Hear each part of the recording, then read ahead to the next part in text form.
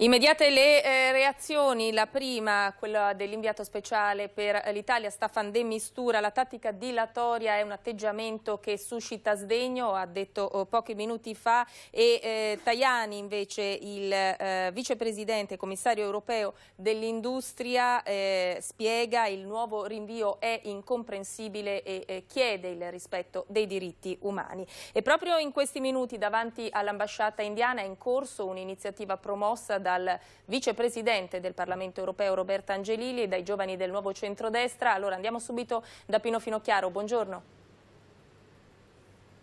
Buongiorno, sì, sono qui con l'onorevole Roberto Angelilli eh, ci chiediamo, dopo questo ennesimo rinvio, è possibile eh, che due eh, militari italiani in servizio per proteggere una nave in base ad un mandato preciso del governo italiano siano ancora lì, non solo in attesa di giudizio, ma in attesa di conoscere persino il capo di accusa. È una situazione paradossale persino per noi che ci lamentiamo della giustizia italiana il comportamento dell'India, delle istituzioni indiane è semplicemente sconcertante e vergognoso. Oggi il ventisettesimo rinvio, ho perso il conto. Io credo che la comunità internazionale si debba interrogare eh, proprio su questo comportamento. Cioè, L'India è ancora un paese democratico, è ancora uno Stato di diritto. Due anni di rimpalli, non riescono neanche a ehm, prendere una decisione, a dire eh, quali capi di imputazione pendono su questi due cittadini italiani, cittadini europei, ma soprattutto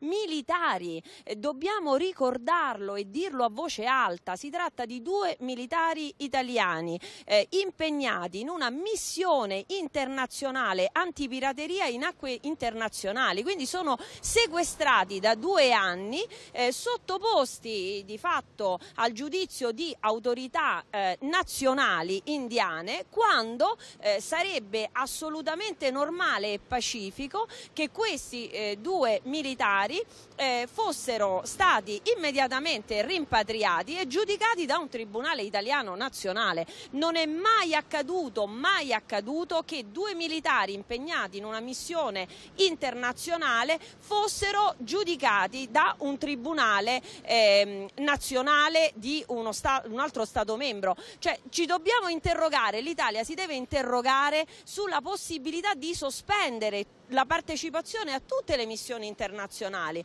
perché non c'è più diritto, non c'è più garanzia. L'India ha letteralmente calpestato tutti i trattati internazionali, oltre che chiaramente i diritti umani fondamentali di due militari e di due cittadini. Eh, L'Italia deve pretendere eh, dalla comunità internazionale, eh, dall'Europa soprattutto, eh, di eh, diciamo un'unica richiesta noi vogliamo a questo punto, cioè il rimpatrio immediato.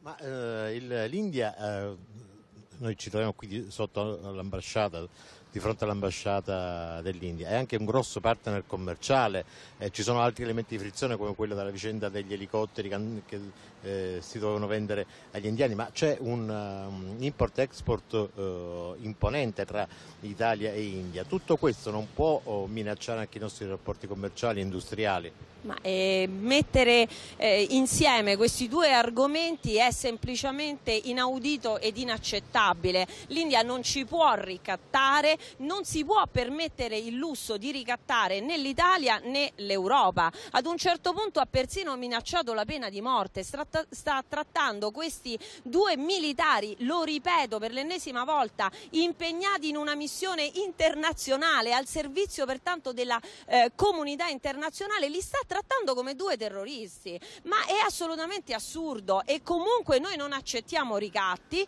eh, certamente non possiamo fare compromessi a ribasso eh, sulla pelle di questi due nostri concittadini, di questi due italiani e se l'India pensa di ricattare la comunità internazionale, la comunità internazionale deve porre delle questioni molto serie anche alle Nazioni Unite. Per il momento è tutto dall'ambasciata eh, dell'India in Italia, se avete domande allo studio